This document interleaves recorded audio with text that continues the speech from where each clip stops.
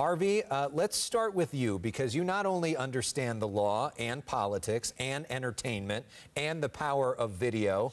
Um, I'm wondering, as somebody who knows so much about all of those things, what went through your mind when you watched that very dramatic footage today? Well, I mean, what the way I absorbed it all was this way. Donald Trump, when you watch all of it, was the general of an attempt to overthrow the United States government. He was involved in the planning of it, he was involved in inciting it, and he was intimately involved in being able to stop it and consciously did not. And I think when you put all of that together, because for me, what I've always thought about January 6th was the most damning part. I mean, there's so many parts, but the most damning part is that Donald Trump watched this on TV with glee. Donald Trump is the president.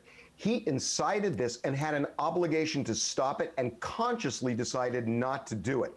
To me, Alex, I mean, I haven't heard this, but I feel it and I'm going to say it. I think this goes way beyond impeachment and conviction. To me, Donald Trump committed treason. Treason is in the Constitution. It is a it is declaring war on the government. That is what those people did. They did it at his behest, and I think his order when he's standing next to a guy, a congressman who says go over there and kick some ass, and he is standing there smiling and doesn't stop it. He was the general. Not only do I think he should be prosecuted for treason, but under oh, I looked at the law today and there is something called felony murder in the federal government.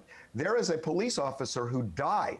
And if you, if somebody dies in the act of committing treason, that's also felony murder. I think Donald Trump did all of that. So uh, it, it is just unbelievable. This president became an enemy of the United States.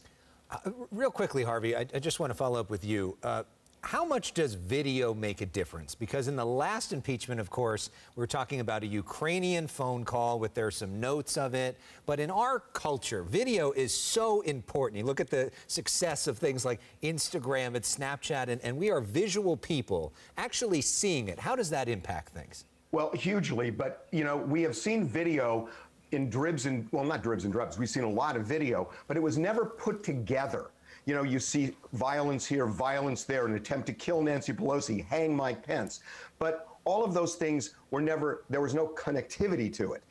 What the managers did, the House managers did, is that they had a they, they had a narrative that they used video to bring it to life. And it was done about as effectively as I've ever seen, certainly in a court of law. It was almost stunning to me how how this was done it was timed so perfectly that each time a manager spoke somebody was on that switch and they immediately played the video. It always tracked. And when you watched a timeline buttressed with video i mean it's about as compelling as it can possibly be. Dr drew. Yeah, I mean, I, am curious uh, to ask uh, about the the impeachment proceedings. When you look at the Constitution, it seems like taking a president out of office is the primary purpose of the impeachment clause, but they're using it to ca cause somebody not to be able to gain office in the future. Uh, I'm wondering how how just declaring it so by a legislature makes it so. Yeah, Jason, maybe take this one. Sure. Yeah. So it's not necessarily, Dr. Drew, that the legislature is declaring that they can proceed. They're looking at the text and the history of the Constitution.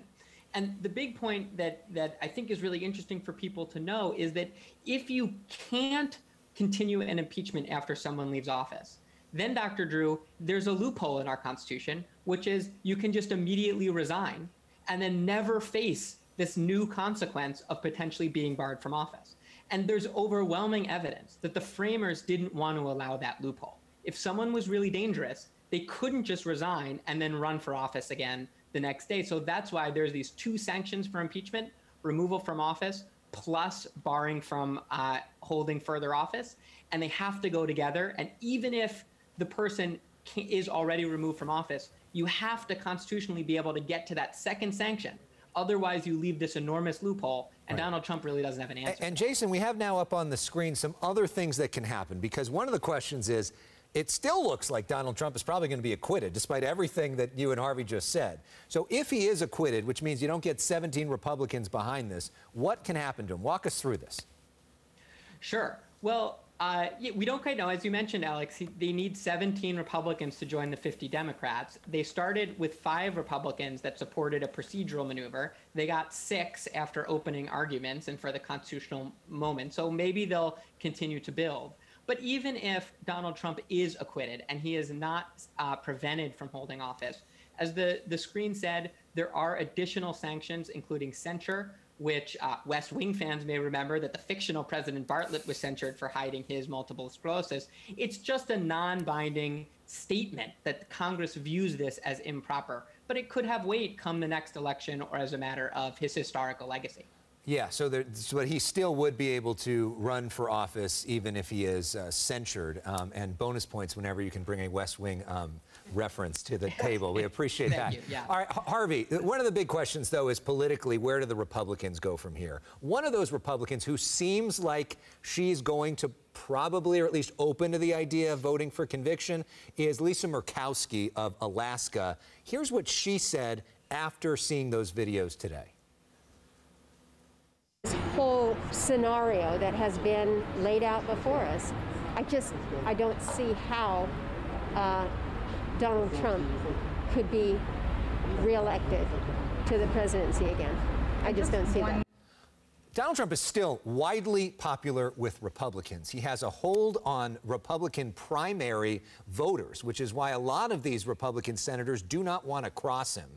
What do you make of the politics of this moment? Um, because Republican senators potentially put themselves in political peril if they cross Donald Trump. See, I think that Republican senators are not looking at the long game here because Donald, the, the hardcore supporters of Donald Trump at this point are not enough to get anybody elected. You need more Republicans, and I think a lot of them have bailed because of this. So I don't think that that base, even though the base is important for reelection of these people, I don't think it's enough for them. And I don't think they're thinking that through enough. To me, the smartest guy in the House is Adam Kinzinger. Because what Kinzinger is doing is he is saying, I will be your option. And he is setting himself up to um, try to bring the party somewhere toward the middle. And I, I just have a feeling that over time, these Congress people, and all, this is not about whether Donald Trump incited a riot. Of course he incited the riot. I mean, come on, of course he did. The, this is all about political survival. But I don't think they're looking at this correctly because if Donald Trump has 30% support within the Republican Party, hardcore support, I think that's about it. I think a lot of Republicans can't stomach this and of course, have bailed but, on it. But Harvey, that's why I think is so smart. If the Republicans lose their primary, then they can't go on anyways, and that's part of the, the problem here. Jason, I, I have a question in terms of uh, what's next here in this trial. So we know that we're going to hear more of the Democrats' case tomorrow, but on Friday, President Trump and his lawyers will be providing their case. What is their case? Break it down, and, and if you were representing Donald Trump, what would you argue? Well, it's hard. I mean, we should note, Alex, to start, that Donald Trump's lawyers yesterday already admitted that they were bowled over by the House manager's case and had to rethink their entire case. So we don't really have a preview of the new argument. But he's, of course, going to make a free speech argument. He had a right to vet his ideas about what happened in the election. It's political speech. He didn't march with them, he didn't put weapons in their hand. And so his defense, Alex, is going to be, you know, I, I clean my hands. Look, they did it without me, and I wasn't a part of it. I was just saying my piece about what I thought happened in the election and whether or not his defense is going to try and relitigate some of these claims that have lost uniformly around the entire country in courts about election fraud. It's probably a bad idea, Alex, but he may go there. Mm. But I, one, one last comment. I, Harvey, I, am just sort of um, spinning over the words you're using, and I, I wonder. You know, one, it's one thing to say that somebody incited a riot, but overcharging the accused with treason and coups and these words, I think people push back on that a little bit, and maybe the overcharging might be one of the errors here. No. Well, my the thing for me is I don't see it as overcharging. This was an act of war, guys. I mean, this was on the this was in the middle of certifying an election, and they took over the Capitol. Were trying to assassinate leaders. If that's not an act of war, tell me what is. I don't understand how this is not an act of war. I, I don't understand. All right, we're going to have to leave it there because we're out of time. We could literally talk about this all day, and there are plenty of networks that are. Harvey Levin, uh, Jason Harrow, thank you very much. And uh, Thanks, guys. uh, watch The West Wing if you want to learn more about that uh, censure as well, now on HBO Max. All right, still to come.